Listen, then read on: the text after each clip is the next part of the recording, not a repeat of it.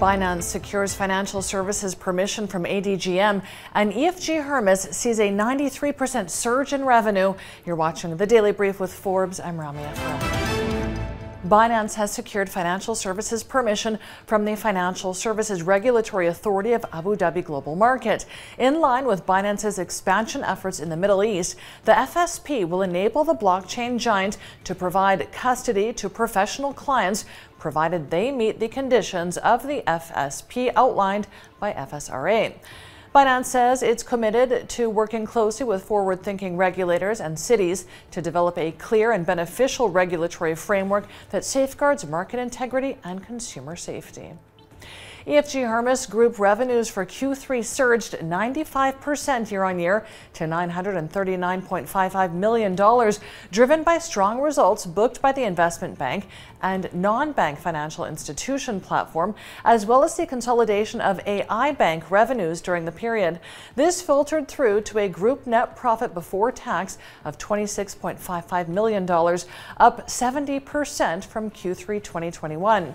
Officials say the results come despite challenges they faced with the global economic backdrop, fueled by rising inflationary pressure, global supply chain constraints, and the recent devaluation of the Egyptian pound.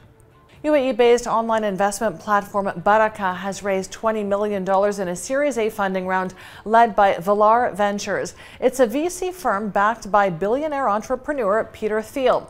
Knollwood also participated in the fundraising round. Baraka, a Robinhood like platform, allows investing in over 6,000 U.S. stocks and ETFs with no commission.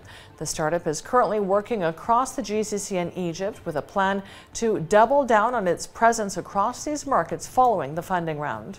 The Global Cybersecurity Forum in Riyadh called for global collaboration to counter threats and highlighted cyber advancements likely to dramatically change the world. The mega event covered issues including resilience in the energy supply chain, child protection online, countering cyber conflict, women in cybersecurity, and tackling cybercrime.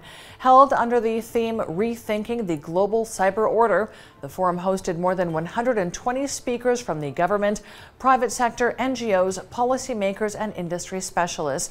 It saw 9,000 attendees from 117 countries attend in person, while thousands joined online.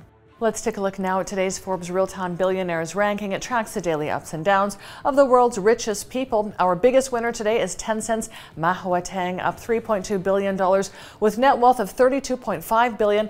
Our second biggest winner today is Jim Walton, up $3 billion with net wealth of 62.7 billion. And our third place winner is Alice Walton, up $3 billion with net wealth of 60.5 billion. Check out our website and our social media for all of the latest billionaires news. NASA's Artemis 1 mission finally took flight today, launching a new era of human exploration after months of delays.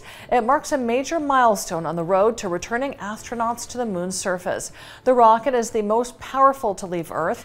The successful launch comes after engineers made last-ditch efforts to fix leaks and other technical issues detected just hours before the launch. I'm Ramia Farrage. This is the Daily Brief. Thanks for watching. See you tomorrow.